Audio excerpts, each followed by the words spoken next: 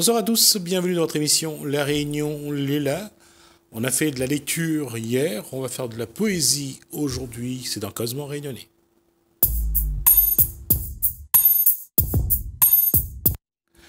Et avec nous, Koulsoum Le Hibou, également pour nous présenter. Bonsoir Koulsoum, bonsoir. à son invité. Son invité c'est. Lucie Ray, une poétesse et auteur aussi. Oui. Et qu'est-ce qu'il y a au menu en termes de poésie Alors, euh, déjà, euh, Lucie est correspondante de euh, Poésie en liberté hein, pour l'océan Indien. Est-ce que vous pouvez nous expliquer un peu de quoi il s'agit? Ah, D'abord, meilleurs vœux à toute l'équipe et merci de m'avoir invité. oui, comme tu disais, depuis 2015, l'association Poésie en liberté de Paris qui est basée à Paris. C'est une fondation qui organise le concours de poésie euh, pour les, jeunes de 15 à 25 ans. Et ça perdure hein, depuis, 2000, et depuis 2015. Je suis donc euh, correspondante de Poésie en Liberté Océan Indien.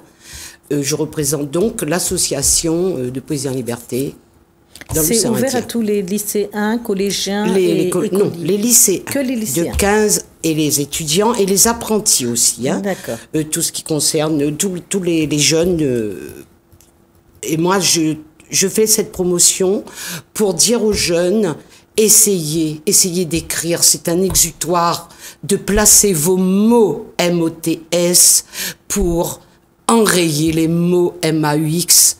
Et c'est en ligne.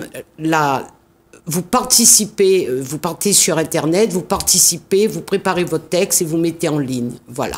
Et il y a les trophées tous les ans, on regroupe les gagnants. On a déjà eu des gagnants à La Réunion, euh, à Mayotte. Euh, je fais aussi une paratée avec la Polynésie. On a souvent des gagnants en Tahiti, en Polynésie française. Et voilà, je tiens vraiment à cette mission, à cette à cette mission de correspondante de poésie en liberté. Et j'invite les professeurs de français à inciter les élèves à participer. Là, ça dure pour 2021. Le compteur est déjà en marche jusqu'à fin mars 2021 pour ce concours de poésie en liberté. Alors, on va, préciser, le concours est déjà ouvert. Alors, la, Date butoir, le dernier. Euh, fin, 31 euh, mars en principe. 31 mars, ils ont jusqu'au 31 mars. Mais s'il n'y a pas un renouvellement, des fois, il y a une petite prolongation sur le net. Vu la situation. Voilà. D'accord. Euh, quand on parle de poésie, c'est libre. ils font dans les longueurs qu'ils veulent. Les, Tout à fait, c'est Les strophes, les. C'est de la poésie, poésie en liberté. D'accord. Alors, on va revenir sur vous, votre, oui, bien vos sûr. poésies. Donc, euh, voilà. Euh, vous avez aussi un site j'ai un site toujours, euh, enfin, depuis 2013, quand j'ai pris ma retraite, j'avais des recueils que j'écrivais, de, j'écris depuis mon enfance. Puis il y a eu des arrêts, vu professionnellement, il fallait et familial aussi, il fallait travailler. Donc j'ai fait un arrêt et j'ai repris et tous mes recueils, j'ai mis en ligne à ma retraite. Euh, donc je suis une retraitée de l'éducation nationale et j'ai fait mon propre site Lucie Ray, euh, rayonnement poétique. Ray, je précise, euh, Lucie Ray, c'est une connotation graphique. Ray n'a rien à voir avec les rays existants dans le monde. Je suis Madame Maillot Crescence. On me connaît sous le nom de Madame Crescence à La Réunion. Voilà. Il n'y a pas de connotation, aucune connotation avec les familles. Comment C'est un pseudo. Oui, c'est mon pseudonyme de poétesse. D'accord. Et donc, vous nous avez emmené euh, un poème pour à lire pour Alors, j'écris euh, surtout se, hein, un peu. Sur la souffrance, sur les, la, la, nature. Et je dis aussi la Réunion, notre île, est une, en elle-même, elle est poétique. C'est une poésie. Et puis, c'est un pays, c'est une île de poètes. Voilà. Pour moi, c'est la Réunion est très. Je, la Réunion, pour moi, c'est tout. C'est vrai qu'on a donc, vu euh, beaucoup de poètes rayonnés. oui, c'est un pays de poètes. Je ne vais pas dire les noms des poètes de la Réunion. Je vais vous le dire une petite poésie sur mon île, sur la Réunion, sur notre île. Pacifique. Je n'ai pas des hirondelles ni de moissons, pas de printemps ni d'automne. Je n'ai que deux saisons, aucune n'est monotone un été balayant les cyclones. Un hiver sans verglas ni neige, on imagine des clones. Et sur toute la zone, on s'habille léger. Un sacré privilège. Dans les cirques, une petite laine. Le soleil fait le reste. Il nous réchauffe sans haine. On déguste du miel avec les zestes. Dans mon île de volcan, sur mon caillou de passion, on respire le vent de l'océan, on marche sur les sentes en colimaçon. Aucun danger si on est prudent. Savoir respecter le lagon, admirer le coucher et le levant, des plages et au-delà des monts. Mon île est pacifique, un exemple dans sa diversité et surtout magnifique. Des côtes volcaniques aux sommets étoilés. La Réunion n'est qu'un minuscule point dans un océan avec des instants d'éternité. Dans cet univers au loin, ma terre vénérée que je ne veux plus quitter. J'ai écrit ce texte en mars 2017 que je remets à la. Merci. Euh, vous les, vous les publiez, vous, vous, les mettez seulement sur votre site Je mets sur mon site et je les publie en recueil. Alors là, on y revient. Euh, mon site fonctionne très bien d'ailleurs. J'approche euh, le sixième anniversaire, j'approche les 100 000 visiteurs. ça m'a permis de connaître des, des poètes un peu dans le monde entier, les poètes francophones. Et à partir de là, je me suis dit, mais pourquoi pas faire des livres? Bon, mais je voulais pas avoir un éditeur sur euh, en pression. Et donc j'ai choisi l'auto-édition et j'ai une quinzaine de livres euh, en ligne, exclusivement en vente en ligne, des recueils de poésie et des romans, parce que je me suis mis aussi au roman, mais romans, je dirais roman poésie, puisque c'est un style métissé. Il y a la fiction, il y a de la prose romanesque et avec de la poésie toujours. Et c'est en vente en ligne sur, j'ai choisi l'auto-éditeur Blurb, B-L-U-R-B, et quand on va sur toutes les, les recherches de Google et autres, on tape Lucie on retrouve mes livres, on trouve mon site, tout y est. Voilà. Donc, euh, si on veut me lire, acheter, commander, parce que un, écrivain qui n'est pas lu, euh, ça se perd. Et vos recueils de poésie sont surtout sur la Réunion? Là, on a vu non, ligne, non, c'est pas seulement sur la, Réunion, c'est surtout. Et je suis aussi une poète engagée, une poétesse engagée. D'ailleurs, j'ai écrit ce petit livre en une nuit quand il y a eu l'attentat de Berlin, puisque... Euh, Rappelez-nous l'attentat de Berlin. C'était en 2016, non Oui. Il me semble. C'est quand un camion est rentré, euh, est arrivé dans le marché de Noël de Berlin. Alors le titre, c'est Sans froid de Noël, Père Noël bernilois de paix. Donc je l'ai fait très vite, ce petit livre, et la, les, les, les euh, comment on dit, le bénéfice est reversé à l'association Poésie en Liberté. Alors, voilà, c'est engagé, hein, très engagé. C'est-à-dire, quand vous dites très engagé Engagé, c'est-à-dire que je prends vraiment la défense des victimes, je suis contre les, les, les attaques, euh, voilà. Euh, vous parlez des attaques terroristes, là, c'est ça? Les attaques terroristes? Aussi. Voilà. Euh, j'en ai écrit aussi pas mal de textes. Hein. D'accord. Je crie, je prie, j'ai ma loi, j'ai ma foi, tu ne mourras pas, mon épée n'est pas tranchante, c'est une plume coupante pour te rayer de la terre qu'on te brûle en enfer.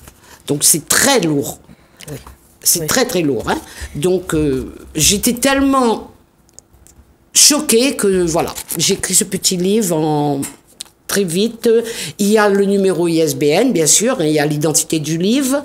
Quand je reçois le livre, je commande, j'envoie à la BNF, la Bibliothèque nationale de France, c'est enregistré, c'est déclaré. Voilà. Et je vais donc euh, dédicacé pour la chroniqueuse. D'accord. Alors, on va revenir, vous pourrez dédicacer après, on va revenir euh, euh, sur les deux romans, les deux romans que vous avez écrits. J'ai aussi des, Donc, euh, J'en ai trois en fait, mais aujourd'hui, on en peut en parler de deux. Je parler de quelque chose de plus léger là, parce que là. Oui, tout à fait. je suis partie très lourd. voilà. Quand tu m'as parlé de poète engagé. voilà, donc on va, on va parler de Le Grand Amour, voilà, de l'amour. Donc c'est un poème avec la rencontre d'un lui et d'un moi. Mm. Donc, euh, euh, il se rencontre sur un fond de, de, cyclone. Lui, il est styliste de la mode. Elle, bon, ben, elle, elle fait des slams, enfin, peut-être une poète, donc elle dit des textes.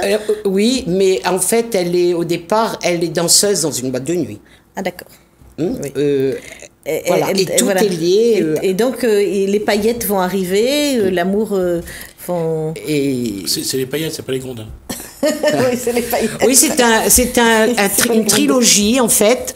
Ce roman, c'est une trilogie. Euh, je n'ai pas mis les lieux pour permettre aux lecteurs de, de se faire eux-mêmes euh, des idées, quoi. Euh, ça peut être la Réunion, ça peut être la Polynésie française, Mayotte ou. Mais je n'ai pas vu de nom non plus. Non, je n'ai pas. Il J'ai fait exprès. Il y a celui, il y a ce moi. C'est particulier hein, quand on le oui, Oui, je n'ai pas mis ni de nom, euh, ni de, de, lieu, même pas le lieu. C'est euh, pour, inviter le lecteur à, à, lire, à se mettre dans la peau. Voilà, à se mettre dans la peau du euh, personnage. Et aussi pour que le lecteur se, lui dessine le lieu, parce qu'il doit dessiner le lieu dans lequel il a, il a besoin d'être. Tout à fait. Mais, ouais. euh, mais euh, quoi qu'à la fin du roman, il y a des lieux quand ils vont quand même en lune de miel. On va pas tout, dire, euh, on va pas, tout dire à la fin. Euh, on va pas dire la fin du livre. Les, la trilogie, c'est en trois parties. Et ce, ce, roman a eu du succès en ligne puisque je l'ai écrit, j'ai écrit par épisode sur un site, pas sur mon site. Euh, sur un site, quelqu'un m'avait dit de, de, de, de, faire marcher un peu son site. Donc, c'était écrit tous les semaines, je publiais un épisode. Et quand j'ai vu le succès, après la première partie, ben, j'ai continué. Oui, parce qu'il y a, y a, beaucoup de fantasmes, il y a beaucoup voilà. de. Voilà, hein, il y a même des moments euh, érotiques sur oui, c'est très. Euh, je dirais pas. Oui, c'est érotique, je dirais plus sensualité. Oui, c'est beaucoup de sensualité. Euh, voilà. Et donc, ça a beaucoup plu. Et d'ailleurs, au début du livre, je mets un peu les, les commentaires des lecteurs. Et c'est là que j'ai décidé de, de immortaliser ce livre en, livre imprimé, en e-book. Voilà. Et puis une, un autre Poupée Nacre. Poupée Nacre, c'est un roman qui est court, presque une nouvelle, qui va nous parler euh, de, de, l'histoire d'une petite fille de 8 ans qui qui se fait enlever, en tout cas euh, la, qui, disparaît. Qui, disparaît. Et la maman, euh, ben, elle s'inquiète parce qu'elle a un, frère aussi. Hein, Alors ça, ça commence sur la, une plage d'Afrique le petit, euh, les deux enfants sont en train de faire des châteaux de sable et ils ont l'ordre de, ne pas rentrer dans la mer puisqu'il y a des il y a, des courants, oui, la maman, elle les interdit, oui, voilà. exactement. Et la, grande sœur, la fille de 8 ans, est avec son petit frère, et quand la mère arrive, la maman arrive, elle hurle, puisque le petit frère est tout seul, la fille, sa fille a disparu. Et... Et après, on a une ellipse. On a une ellipse de 8 ans. Oui, après, et après, 8 on, ans après. on la retrouve à 18 ans. Oui, on, une, à sous un autre nom. Voilà. En Amérique. Sous ça. En Amérique, Oui, elle s'appelle Julie. Voilà. En Amérique. Et, et, c'était la petite Maïna en Afrique. En Afrique. Et, elle a comme ça des souvenirs qui reviennent. Et, mais elle le cache à ses parents adoptifs parce qu'entre-temps, elle a été récupérée, adoptée et tout. Et elle le cache à ses parents adoptifs qu'elle se souvient. Elle dit toujours qu'elle est amnésique, qu'elle ne se mhm. souvient pas. Alors, je voulais vous poser des questions sur le problème de ces enfants euh, euh, qui disparaissent. Euh, vous avez voulu vous mettre plus sur le problème de l'enfant qui disparaît, qui recherche, ou sur le problème de ces femmes, la douleur qu'elles ont quand elles La douleur des familles. Et, et j'ai remarqué que dans, sur les réseaux sociaux, dans les journaux, il y a beaucoup d'enfants qui recherchent leur identité, leur, leur identité, leur famille, leur, leur famille, quoi. Hein, et, et puis il y a trop d'enfants qui disparaissent et qu'on ne retrouve plus. Et il y a aussi un problème en Afrique, c'est euh, ces organisations euh, caritatives qui parfois croient bien faire de prendre des enfants dans des villas, dans des endroits, euh, bien sûr, mm. je dirais, qui n'est pas vraiment fait pour, pour eux et pour leur avenir, qui les emmènent pour être adoptés euh, en Europe le plus souvent et qui, euh, malheureusement, en grandissant, découvrent que finalement, cet endroit où ils ont trouvé de la sécurité et du bonheur deviennent à un moment donné leur aussi une prison. Oui, tout à fait. oui c'est très...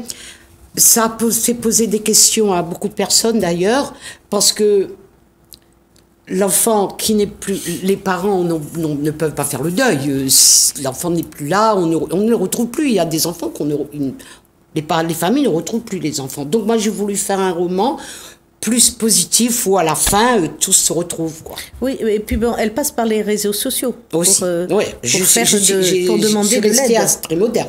Mm, mm, mm. pour, de, pour demander pour faire des recherches et tout, les réseaux sociaux. Et c'est le seul moyen, oui. Et il y a un cas euh, dans le monde du show business, ça se passe aux États-Unis, c'est Romina et Albano, mm-hmm. Romina Power, qui a quatre enfants. Une de ses filles va disparaître. Et elle a été déclarée morte il y a quelques années parce qu'ils n'ont jamais su ce qu'elle est devenue finalement. Donc euh, le cas d'enfant qui disparaît, euh, c'est beaucoup plus euh, courant qu'on ne le croit. Voilà, tout à fait. Et c'est pour pas seulement dans les pays, je dirais, où on enlève les enfants, mais partout. Ben, la petite Maïna a été déclarée morte en Afrique. Oui, oui.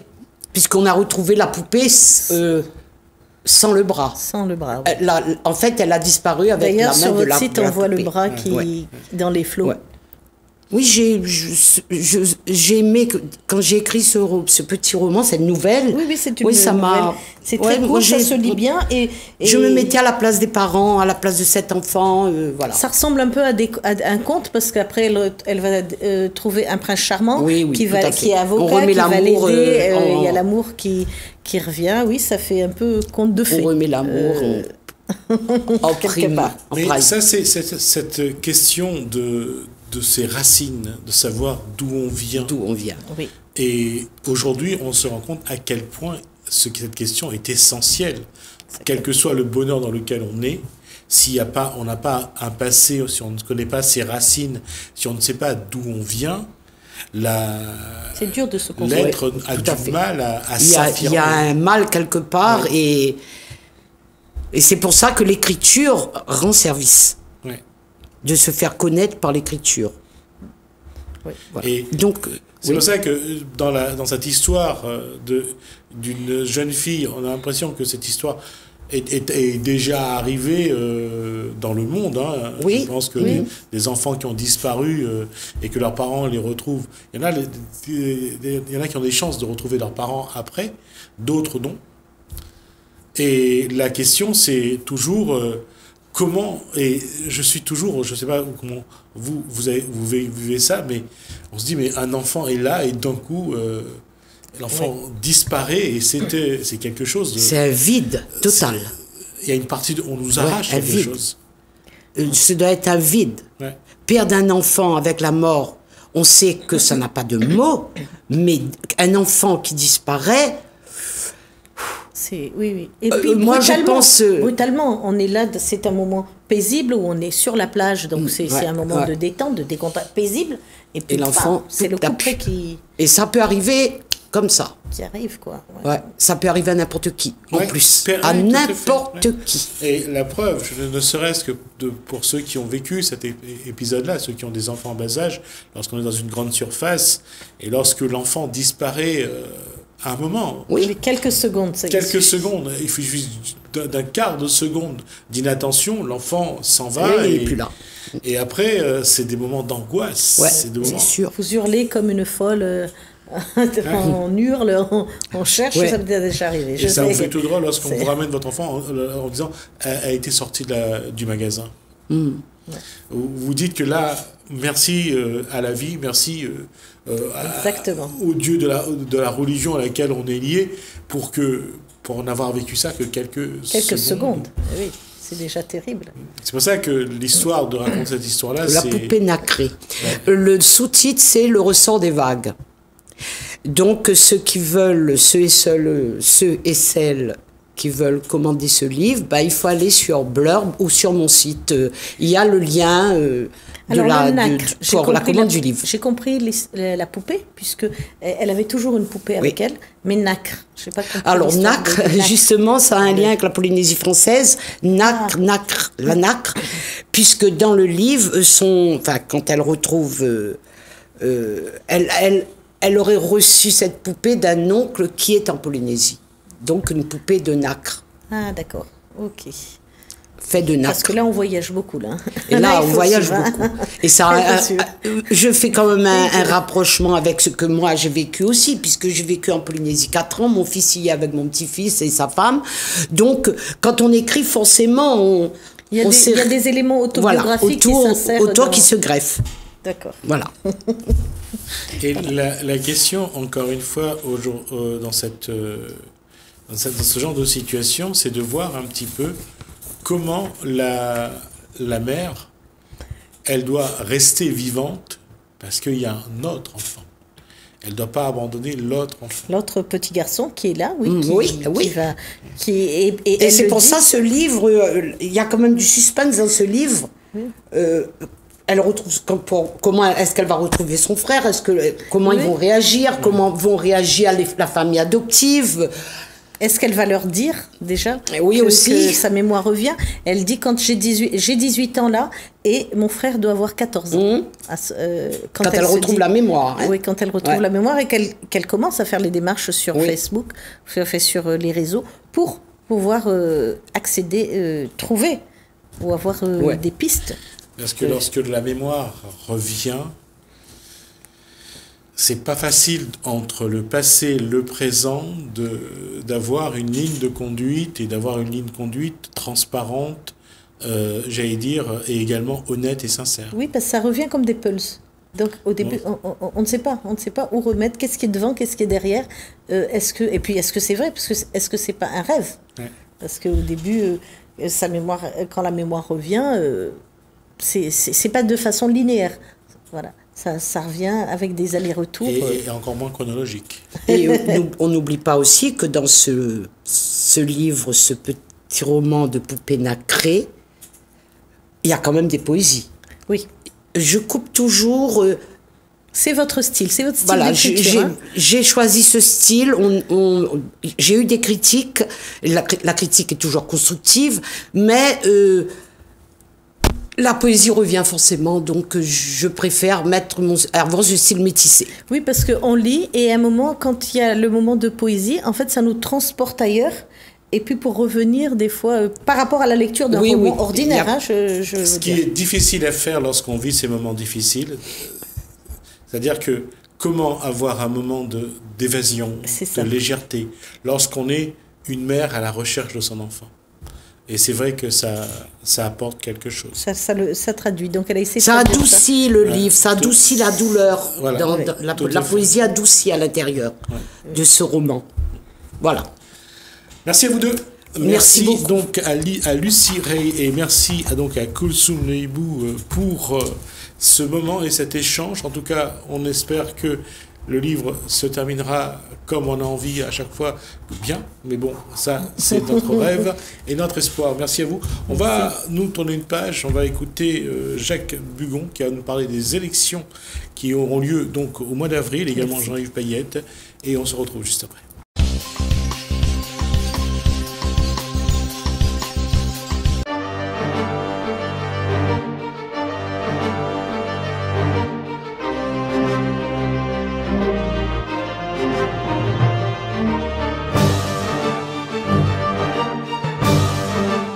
Quelle mesure cette élection est, est importante pour les salariés, les TPE C'est important pour les salariés, notamment pour tous ceux qui travaillent dans petites entreprises, c'est-à-dire moins de 10. C'est important parce que ils n'ont jamais eu de représentants pour les représenter dans les instances pour, pour défendre leurs droits. Donc, il est important qu'ils votent euh, à partir du 22 mars au 4 avril. Comment auront lieu les opérations de vote entre le 22 mars et le 4 avril Alors, il y a tout un calendrier électoral qui a été mis en place par le ministère du Travail. Donc, d'ores et déjà, les salariés ont déjà reçu un courrier du ministère du Travail comme quoi ils sont bien inscrits sur la liste électorale. Ils peuvent consulter leurs inscriptions sur le site du ministère. Et dans un deuxième temps, ils vont recevoir un courrier avec un code donc c'est avec ce code qu'ils pourront voter sur le site du ministère entre le 22 mars et le 4 avril. Par correspondance, par Internet? Par correspondance. Le vote se déroule, c'est de vote électronique, par correspondance. Pourquoi ils doivent voter? Qu'est-ce qu'ils peuvent attendre de ces élections De l'élection de représentants syndicaux? Qu'est-ce que ces représentants syndicaux peuvent faire pour eux? Nous, on défend leurs leur, droits on siège dans les commissions. C'est une commission paritaire composée de 10 salariés, 10 représentants de salariés et 10 représentants en patronal, toujours 10, dans des entreprises de moins de 10 salariés. Nous, on, défend leurs droits et on facilite aussi, en cas s'il y a un salarié qui est en conflit avec son employeur dans son entreprise, on est là pour essayer de faciliter une conciliation, euh, si c'est possible, ou dans dans les pires des cas, il y a des tribunaux pour ça. Ça, c'est dans un premier temps. Deuxième temps, c'est important pour les organisations syndicales dans la mesure où euh, les résultats que, euh, obtenus par les organisations syndicales vont être agrégés aux résultats que nous avons eus dans les élections CSE. Et à partir de là, ça va définir la représentativité de chaque organisation syndicale sur le territoire de la Réunion, voire même au niveau national. Aujourd'hui, est-ce que la, les représentants syndicaux sont toujours crédibles auprès des salariés?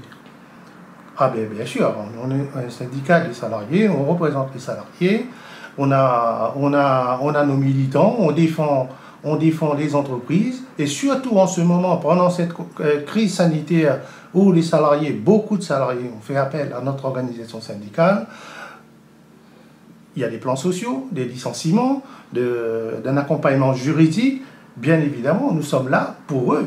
Et ils viennent nous voir, euh, ces salariés, et je peux vous dire, euh, je suis passé un jour ici, vous verrez comment l'accueil ici, on est surchargé avec les salariés, surtout en ce moment qui ont des problèmes. Alors justement, le contexte social se désagrège, se dégrade.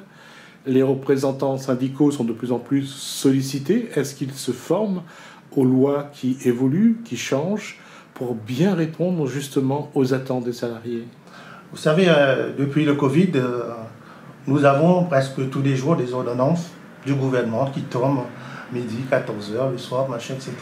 Et nous sommes obligés, nous, en tant que représentants syndicaux, de nous mettre à la page. On est obligés. Euh, et de manière pour pouvoir informer les salariés, nos militants dans les entreprises, pas seulement dans, dans des entreprises de moins de 10 salariés, mais y compris dans les entreprises de plus de 10, là où il y a des délégués. Il faut informer former ces militants sur toutes ces, ces, ordonnances, parce que ça, ces ordonnances, ils ont eu des répercussions sur les conditions de travail des salariés. Qu'est-ce qui explique que parfois le travail des représentants syndicaux sont plus difficiles dans les TPE que dans les entreprises de plus de 10 salariés? Alors, dans les entreprises de plus de 10 salariés, on a des délégués qui, sont, qui représentent les salariés. Contrairement à des entreprises de moins de 10 salariés, c'est-à-dire les TPE, là, il n'y a pas de représentants des salariés. Et les représentants de ces petites entreprises, c'est des, représentants qui siègent à la commission paritaire des très petites entreprises. Donc c'est là que nous, nous, sommes là, être porteurs des paroles de ces salariés qui n'ont pas de représentants dans, dans les entreprises. Dans le contexte social qui continue à se dégrader, ça veut dire que le travail des, syndicats, des représentants, des délégués vont être un peu plus complexe. Est-ce que les syndicats et votre syndicat s'est préparé ou se sont préparés à ce qui va arriver? On est toujours dans le bain tous les jours à se préparer, à se mobiliser, à discuter, à échanger entre nous. Euh, je crois qu'on démarre l'année 2021. Là, on va lancer notre campagne TPE. Euh, ça démarre la, semaine prochaine, campagne d'affichage, communication, euh, euh, réunion, d'occupation du terrain dans toutes les zones artisanales pour informer les salariés des TPE. En ce qui concerne l'action syndicale elle-même, je pense que cette année 2021, il faut sortir de ce confinement syndical et nous préparer à la mobilisation. Parce qu'on prend les coups. Les travailleurs, ils prennent des coups partout. Partout. Et il y a une mobilisation de, la santé, 21 janvier. Il y a d'autres mobilisations qui sont, qui sont dans l'agenda social. Il y a le 26, euh, il y a le 28. Et puis, il y a, il y a une manifestation professionnelle, interprofessionnelle, le 4 février à Saint-Denis. Et là, j'appelle tous les salariés, toute la population à venir manifester leur mécontentement sur les conditions de travail, sur les conditions de, de leur rémunération. Et vous savez, le SMIC a été augmenté à 0,99 centimes, on dirait c'est le prix comme le, prix de la tomate. Quoi.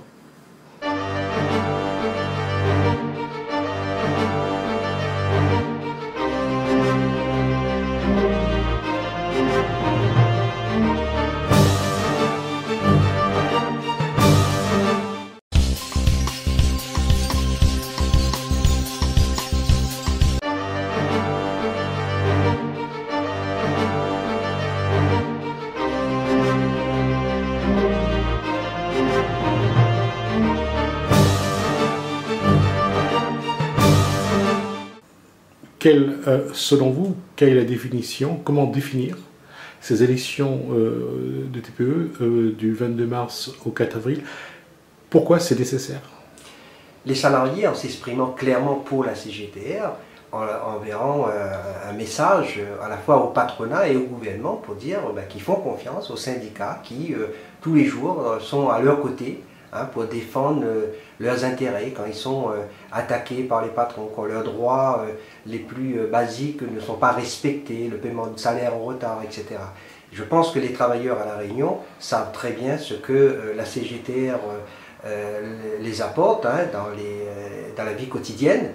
Et il faut qu'à travers ces élections, les salariés affirment que qu'il faut que la CGTR se renforce, qu'il faut que les militants de la CGTR soient encouragés justement à défendre leurs intérêts.